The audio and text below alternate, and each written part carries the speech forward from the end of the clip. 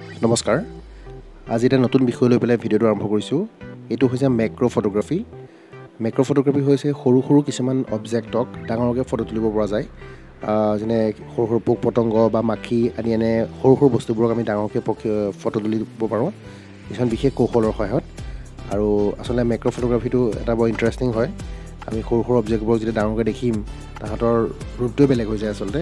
আমি কম খৰচতে কেনেকৈ মেক্ৰ' ফটোগ্ৰাফী কৰিব পাৰোঁ তাৰ বিষয়ে ক'বৰ কাৰণে আচলতে ভিডিঅ'টো বনাইছোঁ। ভিডিঅ'ৰ আৰম্ভণিতে দেখা যিবোৰ ফটো আপোনালোকে দেখা পাইছে এইবোৰ মোৰ ফেচবুক ফ্ৰেণ্ড আৰু ইনষ্টাগ্ৰাম ফ্ৰেণ্ড ডক্টৰ জয়ন্ত বৰদলৈৰ পৰা লৈছোঁ। তেওঁ বহুত ধুনীয়া মেক্ৰ' ফটোগ্ৰাফী কৰে। তেওঁৰ ৱালৰ পৰাই এই ফটোবোৰ লোৱা হৈছে। আচলতে আমি কম খৰচত কৰিবলৈ হ'লে এটা ৰিভাৰ্ছ ৰিঙৰ সহায়ত আমি এই কামটো কৰিব পাৰোঁ। আচলতে মেক্ৰ' ফটোৰ কাৰণে বেলেগ বেলেগ ধৰণৰ কিছুমান লেন্স পোৱা যায়। বহুত দামী লেন্স আছে আৰু বহুত ইকুইপমেণ্ট লগাই পেলাই এই কামটো কৰা যায়। কিন্তু আমি কম খৰচতে আমাৰ হাতত থকা কেমেৰাটোৰে আমি কেনেকৈ এই মেক্ৰ' ফটোগ্ৰাফী কৰিম তাৰ কাৰণে আচলতে সেইটো দেখাবৰ কাৰণে এই ভিডিঅ'টো কৰা হৈছে। ৰিভাৰ্ছ ৰিং হৈছে এটা মেটেলিক ৰিং য'ত তাৰমানে আমি কেমেৰা লেন্সখন ওলোটাকৈ লগাব পাৰোঁ। কেনেকৈ লগাওঁ আপোনালোকে চাই লওক ভিডিঅ'টোত।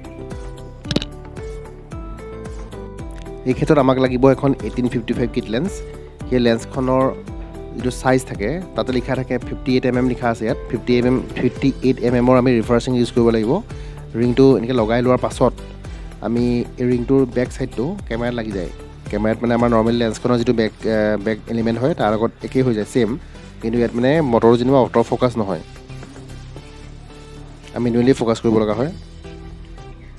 এনেদৰে ৰিভাৰ্চিংটো তাত লগোৱাৰ পাছত আমি সেই ৰিভাৰ্চিং লগোৱা কেমেৰাৰ লেন্সখন আমি ওলোটাকৈ আমি এতিয়া কেমেৰা লগাই দিম।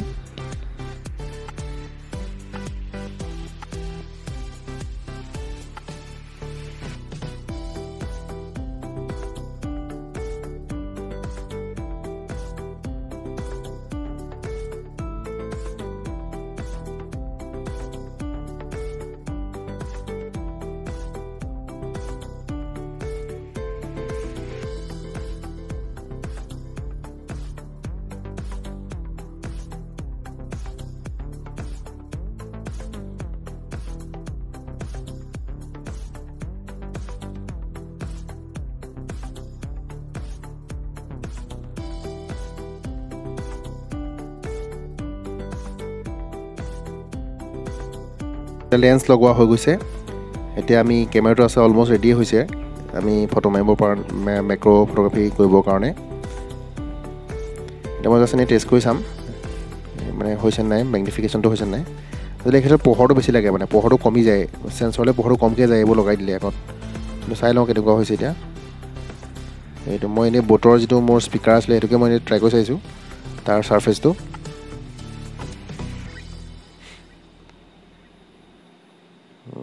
ছাৰ্ফেচটো ডিষ্টিং হৈ যায় এনেকৈ এই এনেকৈ ক্লিয়াৰ হৈ যায়। আমি ওচৰলৈ যিমান লৈ যাম মানে সিমানেই এইটো হৈ যায়। এই ক্ষেত্ৰত কেমেৰাটো এডাল ট্ৰাইপডত ভালকৈ বহাই ল'ব লাগে। ট্ৰাইপডৰ সহায়ত কেমেৰাটো ষ্টেবিলিটিটো বাঢ়ি থাকে আৰু তেতিয়া আমি ভালকৈ ফটো তুলিব পাৰোঁ। গতিকে মেক্ৰত মানে ধৈৰ্যৰ প্ৰয়োজন অলপ। আমি বিশেষকৈ ৰিভাৰ্চিং দি পেলাই যেতিয়া কৰা যায় মই ৰাতিপুৱা এনেই গোলাপ ফুলৰ এটা পাহিত মানে মেক্ৰ' ফটোগ্ৰাফী এটা ট্ৰাই কৰিছিলোঁ। এনেকৈ ক্লিয়াৰ হৈ যায়। ওচৰলৈ লৈ যোৱাৰ লগে লগে মানে ডিষ্টিং হৈ যায় বেছি। ঠিক তেনেদৰে এবাৰ এবাৰ বেলেগ ফুল এই ফুলৰ ছাৰ্ফেচটো মই চাইছিলোঁ এনেকৈ ইমান ক্লিয়াৰকৈ দেখা পোৱা যায়। আৰু এনেকৈ আমি ফটো তুলি ৰাখিব পাৰোঁ। মই জাষ্ট ভিডিঅ'টো কৰি ৰাখিছিলোঁ মানে এটা কামত ইউজ কৰিবৰ কাৰণে। কিন্তু এনেকৈ ইমান ধুনীয়াকৈ মেগনিফিকেশ্যন হৈ যায়। আৰু ওচৰলৈ গুচি যোৱাৰ লগে লগে ক্ল'জ আপনেছটো বহুত বাঢ়ি যায়। ক্ল'জ আপ ফটোগ্ৰাফী হয়তো এক ধৰণৰ ক্ল'জ আপ ফটোগ্ৰাফীয়ে হয় মেক্ৰ' ফটোগ্ৰাফীটো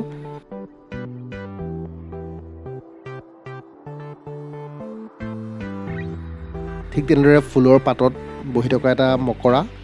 মকৰাটো আমি এনেকৈ ক্ল'জ আপ লৈছোঁ। তাৰ ওচৰলৈ যোৱাৰ লগে লগে ধুনীয়াকৈ ডিষ্টিং হৈ যায়। তেনেদৰে এই পৰুৱাৰ এটা যো আহ, জাক মানে এটা গ্ৰুপ আছিলে তাকো এনেই মই চাইছিলোঁ মানে মেক্ৰ' লেন্সটো ইউজ কৰি পেলাই। কিন্তু ওচৰলৈ যোৱাৰ লগে লগে বহুত ডিষ্টিং হৈ যায়। এনেদৰে আমি ৰিভাৰ্ছ ৰিং ব্যৱহাৰ কৰি পেলাই মেক্ৰ' ফটোগ্ৰাফী কৰিব পাৰোঁ। আৰু যিটো মেক্ৰ' ৱৰ্ল্ডখন সঁচাকৈ বেলেগ সৰু সৰু বস্তুবোৰ বৰ ধুনীয়াকৈ দেখা পোৱা যায় ওচৰৰ পৰা। এই ভিডিঅ'টোৰ ডেছক্ৰিপশ্যন বক্সত ডক্টৰ জয়ন্ত বৰদলৈৰ মেক্ৰ' ফটোগ্ৰাফী যিটো ছেটআপ আৰু কেনেকৈ মেক্ৰ' ফটোগ্ৰাফী কৰিব লাগে আৰু কি কি ইকুইপমেণ্ট ব্যৱহাৰ কৰিব লাগে তাৰ সবিশেষ তেওঁৰ ভিডিঅ' লিংক দুটা মই ইয়াত আগবঢ়াম আপোনালোকে চাব পাৰিব। ধন্যবাদ।